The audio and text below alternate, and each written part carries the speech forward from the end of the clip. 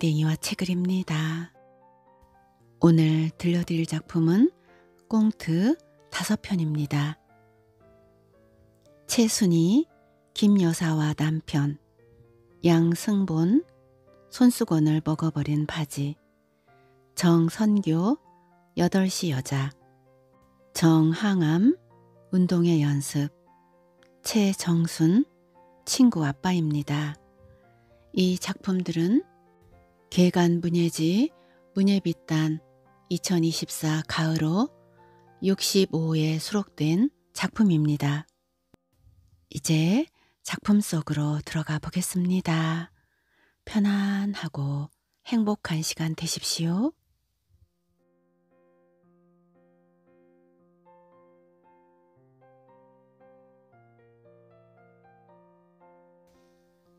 김여사와 남편 최순희 이빨이 또 탈난 것 같은데 어떡하지? 퇴근한 김여사 남편이 오만상을 찡그리며 거실 소파에 앉는다. 어떡하긴 치과 가면 되지 웬 걱정이시오? 누가 치과 갈 줄 몰라서 그래? 임플란트 하려면 목돈이 들어가니 걱정이지. 그럼 당신 이빨 보고 한 5년에 한 개씩 빠지라고 하시구려. 허 참 걱정되어 말하는데 꼭 남의 일처럼 말하네. 남편은 내 편 아니고 남의 편이라던데 당신은 여직 몰랐어? 이빨 탈라면 빼고 해 넣어야지. 그럴 때 쓰려고 돈 버는 거 아니요? 틀리는 하면 안 되겠지. 무슨 틀리를 90 노인이면 틀리 하겠지만 옛날에 아버님 어머님 우리 집에 오시면 식사만 하고 나면 두 분이 틀리 빼서 싱크대에서 씻었는데 그때는 그게 참 보기 거시기 앞디다. 특히 저녁에는 두 개 물컵에 틀리를 나란히 담가두고 합주기가 되셨는데 애들이 보고 즐겁을 하고 내가 뚜껑 달린 예쁜 틀리통 사드려도 물컵만 사용하셨으니 본성이 착실한 김여사 남편은 큰돈 드는 일에는 항상 걱정을 먼저 했다. 그러나 김여사는 틀림하는 반대다. 친정 부모님도 이빨이 다 빠져 틀리를 하였는데 애관상 가지런한 이빨이 보기만 좋았지 식사하면 덜컥덜컥 소리가 나고 음식이 잘 씹어지지 않아 가위를 들고 다니셨다. 명품 기계도 그만큼 썼으면 고장나지. 1, 20년도 아니고 60여 년 하루 세 끼 밥만 먹나? 오만 먹을 것 입에 달고 사는데 우째 이빨 탈이 안 날까? 내가 치과에 따라가서 월부로 해달라 때 써볼 테니 걱정 마시오. 흐훗. 쯧쯧. 엿장수 마음대로지. 김여사 남편은 탈난 이빨이 건들려 아픈지 밥도 한쪽으로 살살 씹으며 우거지상을 했다. 아프면 아기처럼 엄살이 심한 남자다. 참 병원 가서 엑스레이 찍고 의사 말 들어봐야 떼울 건지 임플란트 심을 건지 알지. 당신 시방 이빨 몇 개가 아픈데? 몰라. 말해봤자 금방 잊어버릴 거면서 묻기는 왜 물어? 전화가 왔다. 작은 딸 하나다. 엄마 별일 없지? 뭐 하시오? 별일 없다. TV 보고 산다. 아빠는? 이빨 아프시대. 별일 있네. 어느 이빨 아프신데? 아까 들었는데 여보 당신 어느 이빨 아픈데? 왼쪽 어금니라고 말했잖아. 왼쪽 어금니래. 왼쪽? 윗니야? 아랫니야? 글쎄다. 당신 윗니야? 아랫니야? 지가 병원비 대줄 것도 아니면서 뭘 물어봤었노? 윗니, 아랫니. 윗니, 아랫니래.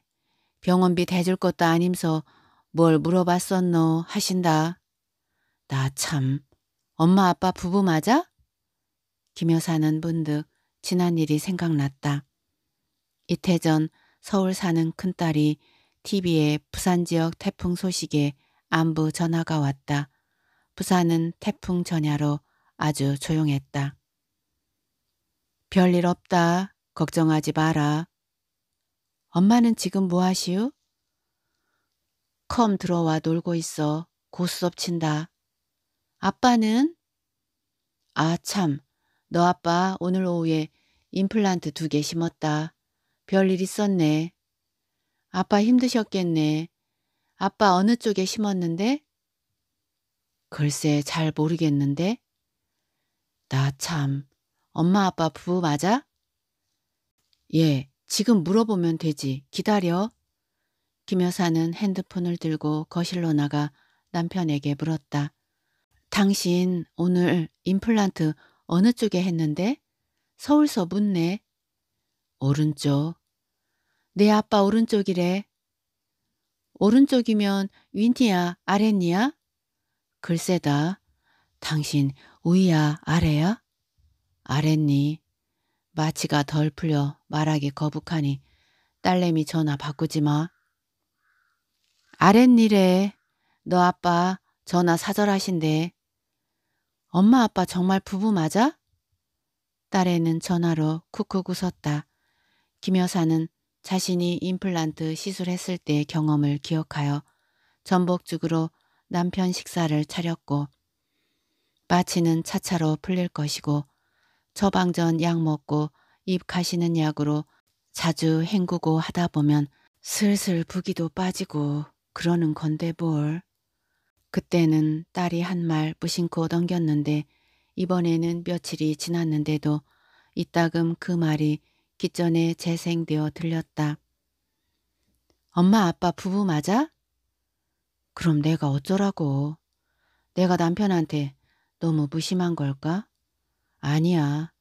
그 옛날 남편이 시골집 가서 하루만 안 봐도 엄청나게 보고 싶고 하룻밤 안 안아주어도 서러워 토라지고 눈물 흘리던 시절이 내 얘긴가 남의 얘긴가 이젠 아니지.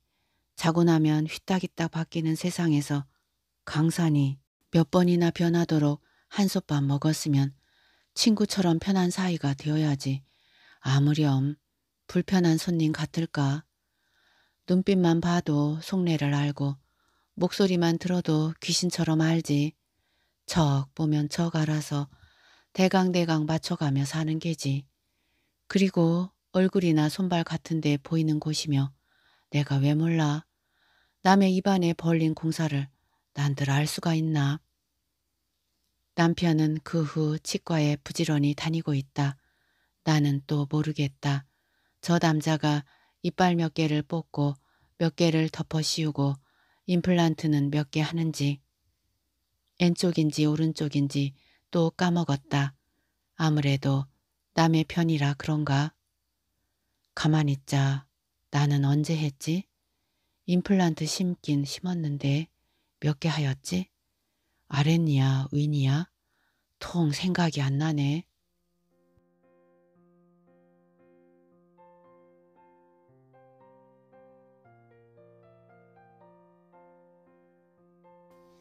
손수건을 먹어버린 바지 양 승 본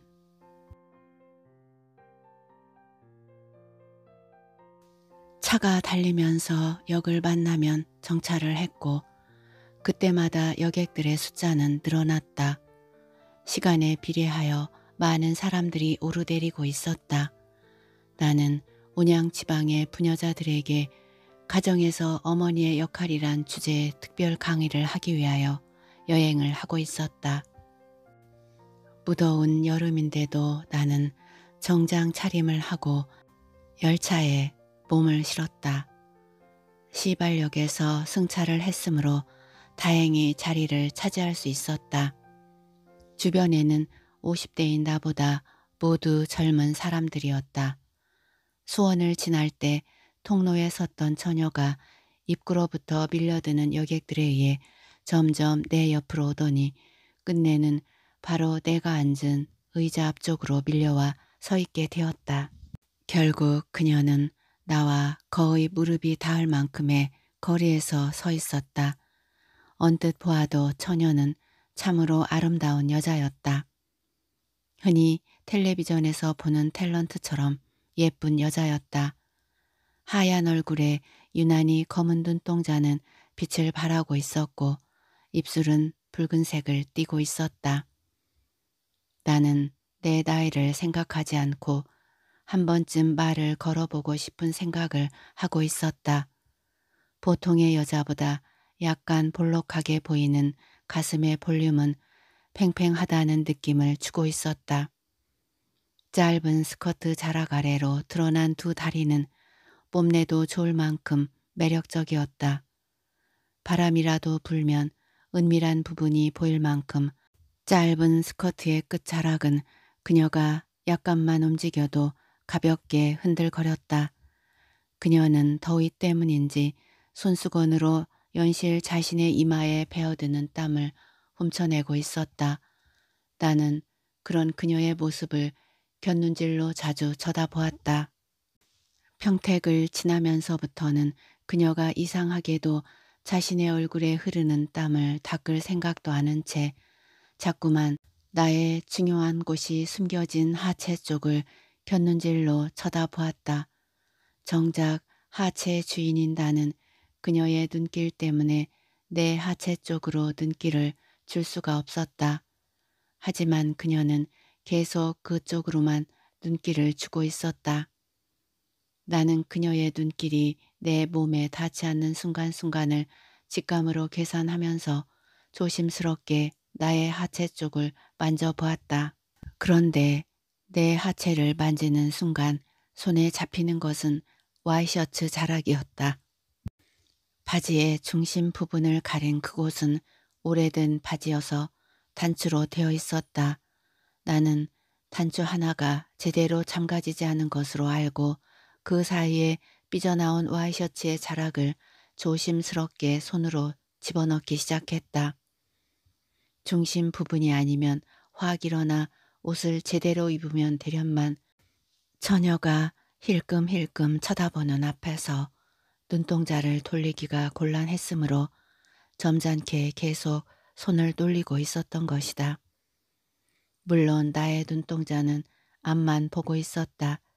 그러한 나의 행동에 그녀는 더욱 열심히 나의 하체를 쳐다보았는데 슬쩍 보이는 내 눈에는 그녀가 황당한 표정까지 짓고 있었다. 나는 순간 그녀가 내릴 때가 다 되었는데 나와 말 한마디 못하고 헤어지는 것이 안타까워서 그러는 것이라고 생각했다. 말은 못하고 마음만 태우는 그녀를 보자 나는 어떤 핑계를 대더라도 그녀와 말을 나누고 싶었지만 나는 소시적 성격 탓에 입을 열지 못하고 있었다. 사실 사람들은 대개 나를 좋아했다. 나이에 비하여 젊게 보이는 데다가 특히 잘생긴 몸매를 가졌기 때문이었다. 내가 만약 일어선다면 그녀의 키와 나의 키는 약 한 뼘 정도의 차이가 날 것이라고 생각했다. 나는 보통 남자들보다 약간 큰 키에 속했는데 그녀의 키도 보통의 여자들보다 약간 커 보였다.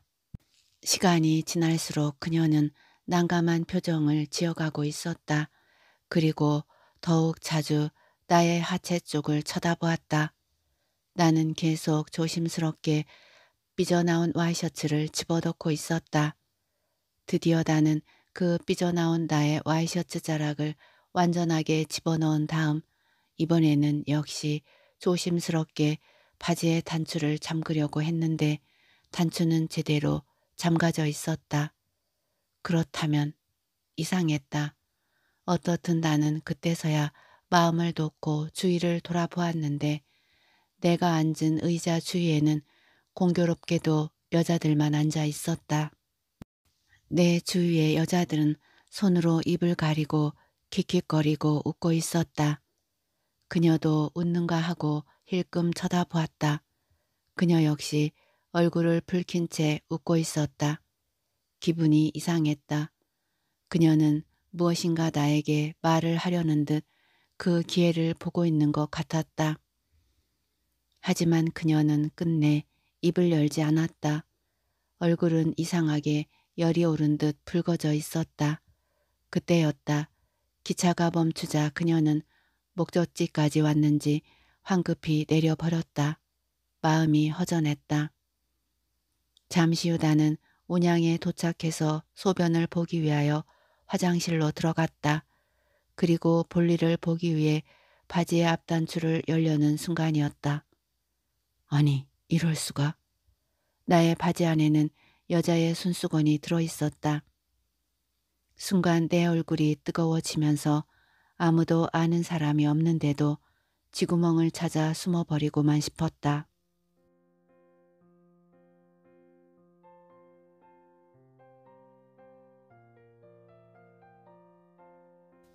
8시 여자 정선교 저녁 7시 저녁이었다. 오늘 늦게 가면 안 될까? 식당에서 저녁밥을 먹고 호텔 커피 휴게실에서 남자가 연희에게 물었다. 연희는 곤란한 입장인지 아무런 대답이 없었다. 예약해뒀어. 방. 미안해요. 9시까지는 집에 도착해 있어야 해요. 연희가 늘 하는 대답이었다. 29살 여성인 연희는 8시까지 밖에 함께 있지 못한다 하니 부모님이 엄하신가 봐. 그렇지 않아요. 늘 9시 전에는 집에 들어가 있으니까요. 두 사람은 호텔 방으로 들어갔다. 순서대로 관계를 끝내고 그녀는 8시에 떠났다.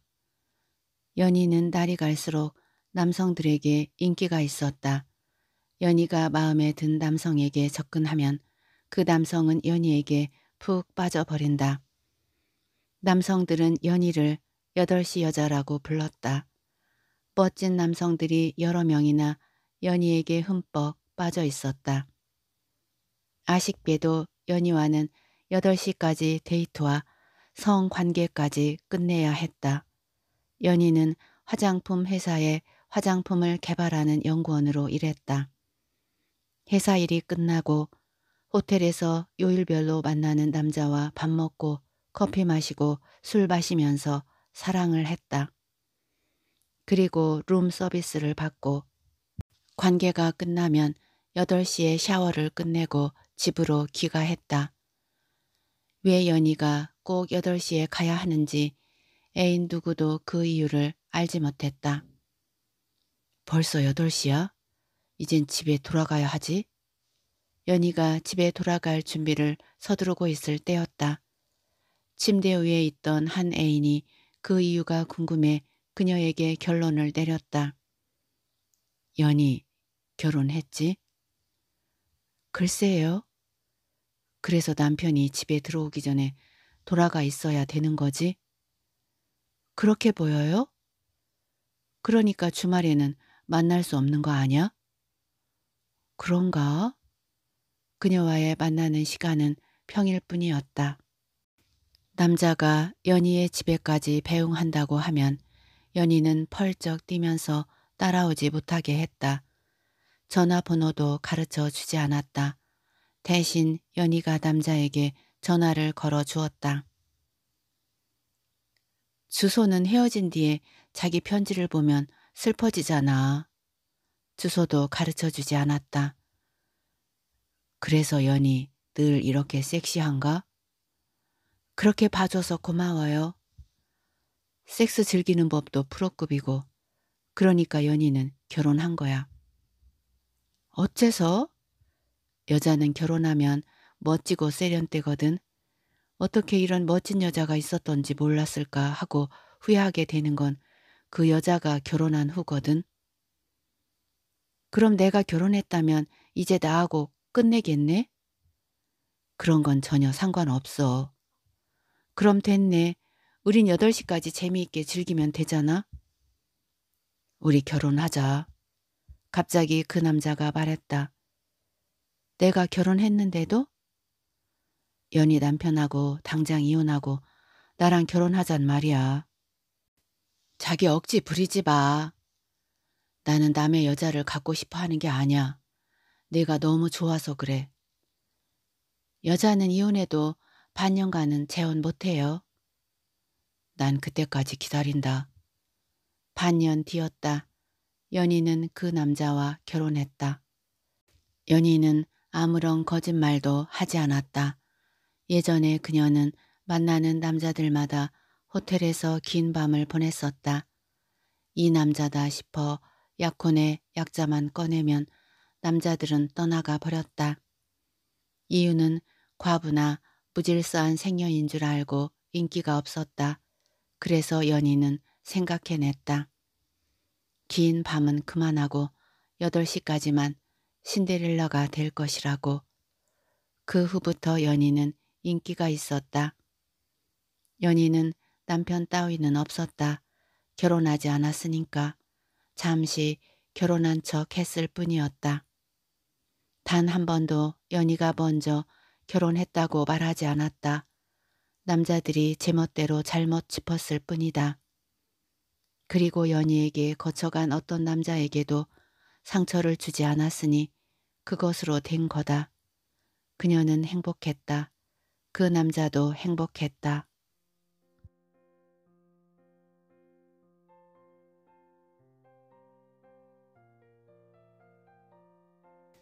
운동의 연습 정항암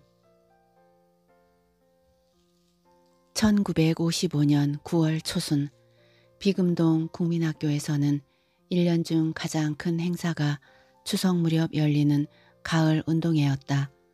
다우는 추석맞이 운동회 연습에 열중했다. 해마다 열리는 운동회는 학생들은 말할 것도 없고 주민 전체 축제여서 1학년부터 6학년까지 400여 명 전교생과 학부모 대다수가 도시락을 들고 와서 구경했다. 아이들은 옷 소매가 없는 모시 적삼과 반바지를 입었다. 개중엔 팬티를 입지 않은 아이도 눈에 보였다. 운동장 땅바닥에 앉으면 러닝 셔츠가 반바지에서 빠져나와 등이 훤하게 보이기도 했다. 하기야 하루 세끼 끼니를 걱정할 정도로 가난해서 그럴 수도 있는 일이었다. 학생들은 운동회가 2주 정도 남을 때여서 청군과 백군으로 나뉘어서 달리기와 공 터트리기며 줄다리기를 하는 등 연습에 열중했다. 선생님들은 학생들이 사고가 나지 않도록 하려고 열심히 지도했다. 6학년 상급생들은 수업이 끝난 다음 철봉, 기계 체조를 연습했다. 뜨거운 태양볕에 앉아서 여러 날 운동의 준비를 하는 일이 점심때가 되면 배도 고팠다. 오랜 시간을 뜨거운 햇볕에 노출된 채 시간을 보내면 무료하고 정신이 산만해졌다. 땅 바닥에 그림을 그리거나 글씨를 쓰느라 낙서하는 아이들도 덜어있게 마련이었다. 유영훈 선생님. 저것 짠 보란께? 춘하는 빤스도 안 입었단께? 해설. 유영훈 선생님이 음악의 재주가 뛰어나서 노래 부르기를 좋아했다. 그런데 이제 보니 학생들에게 농담도 잘하는 장난꾸러기 선생님이었다. 춘아, 거짓말 말한께라우? 오늘 빤스를 새로 갈아입었단께라우? 해설. 그녀는 얼굴이 빨개졌다. 이영훈 선생님, 거짓말 말한께 가랑이가 훤히 보이는디 뭔 말을 한단가이? 해설, 싫다는 춘하의 허벅지를 반강제적으로 만졌다. 춘하, 아니란께라우? 참말로 그랬단께라우? 해설, 그녀는 정색하면서 영훈 선생님이 만지지 못하도록 손을 붙잡았다. 이영훈 선생님, 참말인지 거짓말인지 확인하게 바지를 벗어보란께? 해설 춘하가 싫다는 것을 무시한 채 사타구니를 더듬으려고 가까이 다가앉았다. 춘하 싫단께라오? 어째서 이런단가이? 해설 눈을 흘기며 허벅지를 더듬거리는 영문 선생님 손을 과감하게 뿌리쳤다. 유영은 선생님, 가만히 있어 보란께 나가잉 좋게 해줄 것이구만닝. 해설, 그는 춘하의 생각과는 달리 커다란 손을 반바지 속으로 깊이 집어넣었다. 다훈, 아이고 저렇게 하면 안 되는디. 이러다가 큰일 나겠구만. 해설, 그녀에게 무슨 일이 생길지 모르는 일이어서 안절부절 못했다. 이영은 선생님, 야 인자본께 춘하가 다 커서 시집가도 되겠다잉? 만져본께 가슴이 탱탱하게 여물었단께. 해설 이영은 선생님이 어린 제자에게 무례한 행동을 보는 사이에 적개심이 일어났다. 불의를 보면 참을 수 없는 성격이어서 당장 선생님에게 덤벼들어서 주먹으로 면상을 갈기고 싶어졌다. 하지만 마음뿐이지 언감생심 생각하지 못하는 일이었다. 춘아, 선생님도 참 그만 놀리란께요? 해설, 그녀는 피식 웃으면서 일어나더니 먼지를 탈탈 털었다. 다운, 변성기에 접어든 11살이어서인지 간혹 여자에 대한 호기심이 생겼다. 신체적으로도 성장해서 목소리가 굵어지고 어른스러워졌다. 이 춘하를 볼 때마다 가슴이 두근거렸다. 이영훈 선생님 행동에 질투가 났다. 이영훈 선생님, 춘하야 오해하지 말어라잉. 허물없어서 해본 것이란께. 해설, 그는 다른 학생들이 있는 곳으로 갔다. 춘하, 치, 누가 그런지 모른단가이? 그랑께 장난을 쳐도 받아주었제잉?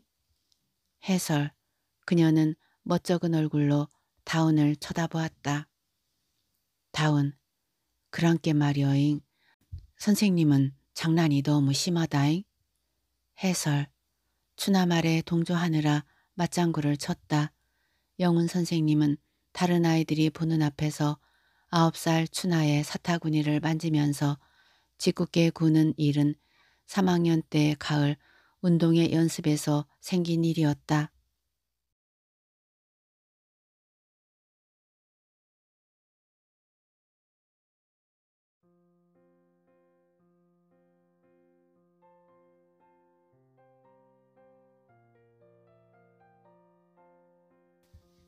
친구 아빠 최정순 내가 인인에 갈 때마다 인이 아빠는 나를 딸의 친구라고 아주 반가워했다.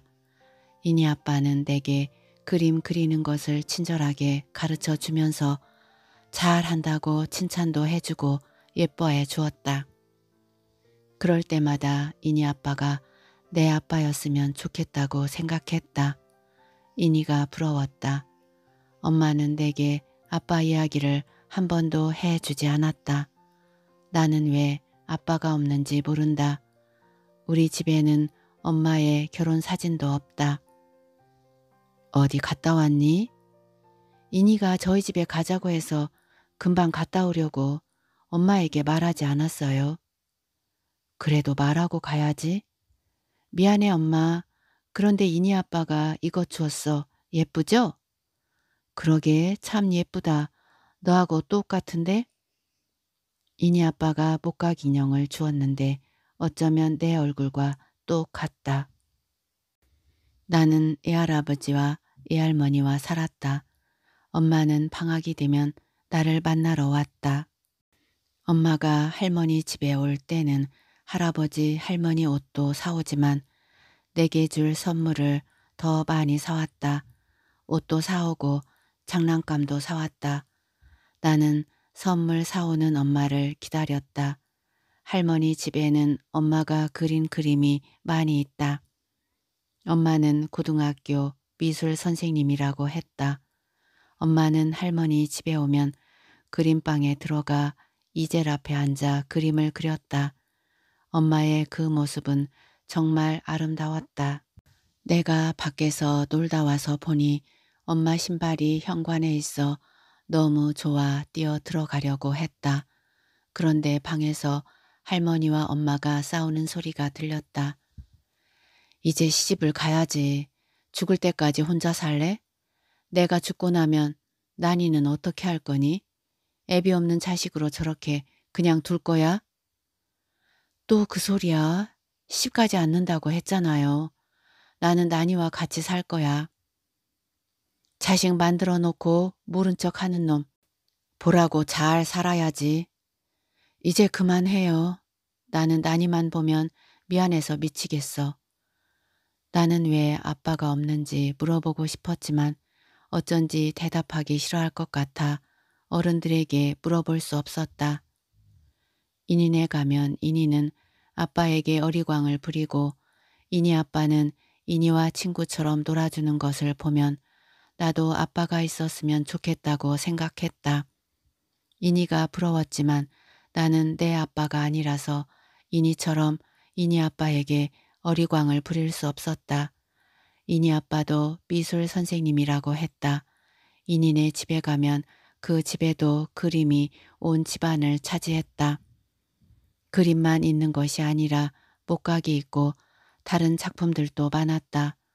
내가 이해할 수 없는 희한한 것들도 많았다.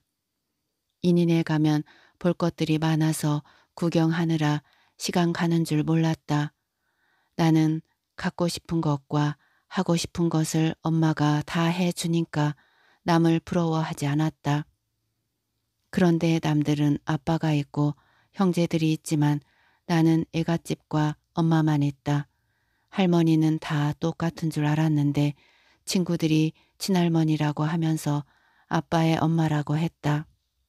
나는 애할머니는 있어도 친할머니는 없다. 엄마에게 물어보고 싶지만 물어보면 안 될 것 같아 궁금하지만 참았다. 나는 애할머니 댁에 살다가 애할아버지, 애할머니가 돌아가시고 엄마와 살게 되었다. 엄마와 같이 살면서 전학하고 이니와 친구가 되었다. 아빠 있는 이니가 부러웠지만 이니는 엄마가 아파서 병원에 있었다. 나는 아빠가 없고 이니는 엄마가 옆에 없었다. 세상은 다 좋은 것만 가질 수 없는 것 같았다. 어떤 때는 잘생기고 멋진 이니 아빠가 내 아빠였으면 좋겠다고 생각했다. 엄마, 이니 아빠가 우리 아빠였으면 좋겠다. 나니야, 그런 말 하면 안 되는 거야. 다시 그런 소리 하면 안 돼. 알았어. 이니 아빠가 이니와 놀아주는 것을 보면 부러워서 그랬어. 그렇지만 이니는 엄마가 아파서 얼마나 마음이 아프겠니. 그냥 한 소리야. 미안해요, 엄마. 엄마는 울 것만 같은 얼굴에 한숨을 쉬었다. 그 뒤로 엄마는 곤란 사람처럼 말을 잘 하지 않았다.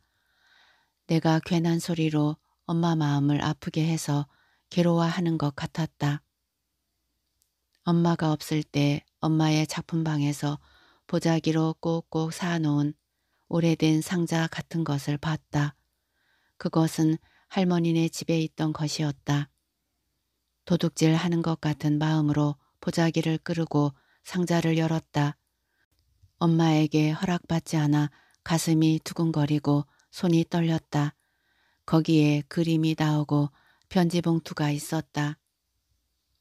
사랑하는 당신, 우리의 지난 날을 잊으려고 해도 죽어도 잊어지지 않네요. 우리는 이렇게 끝내야만 하나요? 우리 아기는?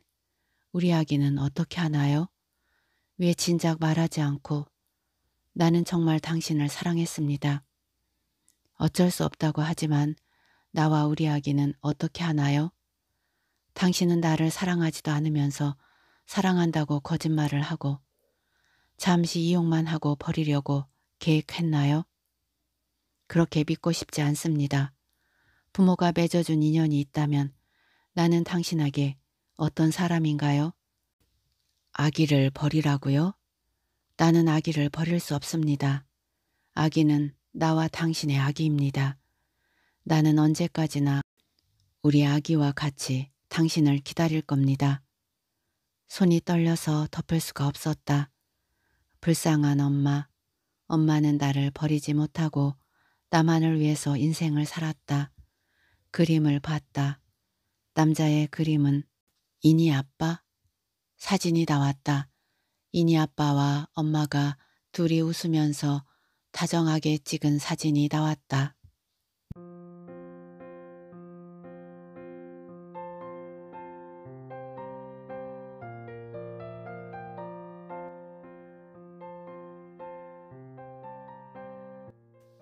작품 잘 감상하셨는지요? 엄청난 반전이 숨어 있었군요. 결국 친구 아빠, 이니 아빠는 나의 아빠였군요. 이웃에서 나란히 살고 있다니 놀라지 않을 수 없습니다. 그래서 이니 아빠는 나에게 그렇게 잘해 주었군요. 이니 엄마는 아프다고 하네요.